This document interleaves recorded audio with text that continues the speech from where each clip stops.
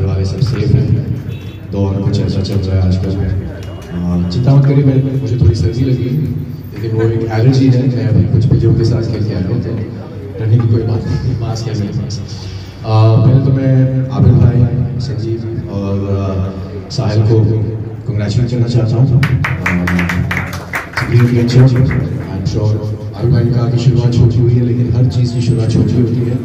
And हम सब आपके वेल विशर्स हैं आप सपोर्ट हमारा ऑलवेज रहेगा आपके साथ एम श्योर बहुत तरक्की करेंगे एक और चीज़ आप भाई ने कही ये ऐसी फ़िल्में बनाना चाहते हैं जो यूथ को बच्चों को प्रोत्साहित करें, बिगाड़े आजकल इतना कंटेंट बन रहा है, लेकिन इतना का इस्तेमाल कर रहे हैं? वाहियात है जो हमारे यूथ को करप्ट कर रही है I think it's very important कि ऐसी प्रोडक्शन हाउसेस का निर्माण हो, जो एक्चुअली गुड क्लीन कंटेंट बनाए। एंड इंशाल्लाह मैं एक प्रोजेक्ट में हिस्सा आगे जाके अगर आप चाहते गुड इवनिंग सुनील भाई हैं भाई ने कुछ हंसाया है रुलाया क्योंकि मैं अभी आया हूँ मिस क्या अच्छा uh, all the best to everybody that associates with this uh, production house and uh, and uh, wish all of you good health and your family members good health as well.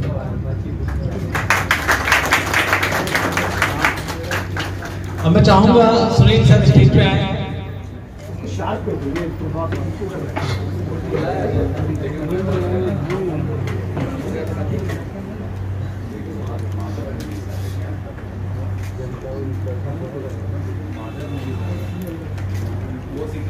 हालाँकि Sunil sir हमेशा हंसाने के लिए जाने जाते हैं और Azmi sir से भी बोला कि मैं शायद नहीं आया हूँ, आपको हंसाया नहीं, हंसाया तो क्या कहना चाहेंगे सर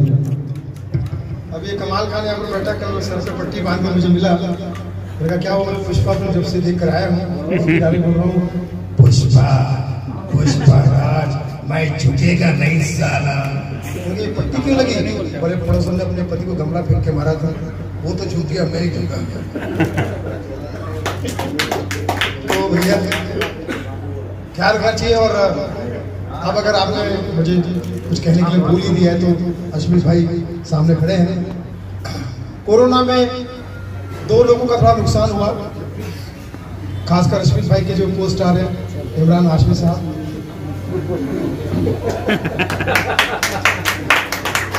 उनको ऐसी जगह पर मास्क पहनना पड़ा जो उनका मेन धंधा था।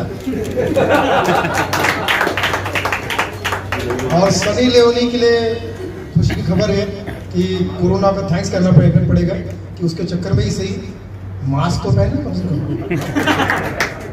तो ये हमारे कोरोना में बहुत सारी बातें हुई, लेकिन अब धीरे धीरे मार्केट खुल रहा है और हम सब यहाँ पर, जैसे कि माधव फिल्म्स और ब्लैक एंड व्हाइट की फ़िल्म का मुहूर्त होने जा रहा है, अबीर भाई की तरफ़ से।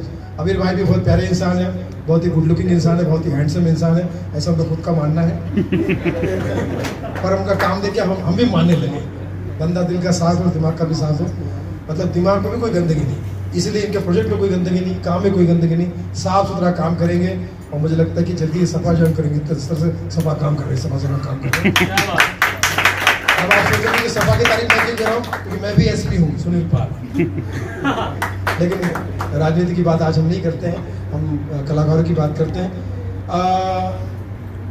अश्मित भाई को देख रहे हैं आपकी मास्क पहने हुए हैं। ये रेगुलरली नियम का पालन करते हैं बहुत अच्छी बात है जोरदार तालियाँ। लेकिन कभी कभी ये इतनी ज़्यादा अतिशोक्ति हो जाती है कि बातचीत करते हुए उनके सामने वाले के सामने मास्क नहीं निकालते। उनका ये कौन सा कम्युनिकेशन है? पहले मास्क कम्युनिकेशन है।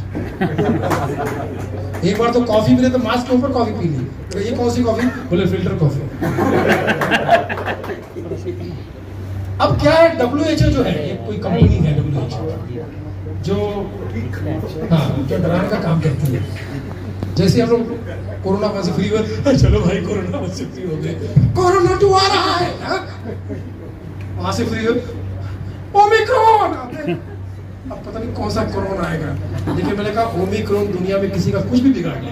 हमारे हिंदुस्तानियों का, हमारे भारतीयों का कुछ नहीं बिगाड़ सकता। क्योंकि उसके नाम में उसके नाम में ओम है। और जहाँ ओम नाम होता है, वहाँ पर हमारी सुरक्षा हो ही जाती है। मेरे गुरु सुनील पाल जी को मैं नमन करता हूँ। आसिफ पटेल साहब, जो एक बेहतरीन कलाकार है, एक अच्छे इंसान है, एक अच्छे फिटनेस के महारथी है। इसके अलावा एक ऐसा नाम नाम ही काफ़ी है, नाम ही बोलता है, नाम ही काम है, नाम है ओनली वन अस्मित पटेल साहब। Thank you so much sir आप हमारे साथ हैं, बहुत अच्छा लगता है जो आप हमारे साथ बैठे हैं। मेरे बड़े भाई विशाल भगत साहब थैंक यू सो मच मैं कल इतनी बोलना चाहता हूँ, ताहिल कमल खान साहब thank you so much Beru Jain thank you so much ये जो प्लेटफॉर्म है, ये प्लेटफॉर्म जो सर ने जब तैयार किया, मैंने कल इतनी बोला सर आप मीडिया के महारथी हैं।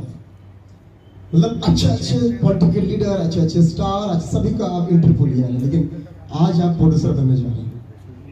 जैसा आपने वहाँ भी नाम कमाया, झंडा गाड़ा है और इधर आप झंडा गाड़ेंगे सर क्योंकि आपकी नीयत साफ़ है। आपकी जबान साफ़ है, आपके दिल साफ़ है, आप काम करने का तरीका जो है आपका एकदम सामने है, दिशा एकदम साफ़ है तो आपका काम भी अच्छे होगा। महादेव की आशीर्वाद से इतने बोलना चाहता हूँ, सर, मैं भी कलाकार हूँ, आप प्रोड्यूसर हैं, चाहे आपका दोस्त हो, लेकिन काम तो चाहिए हमें।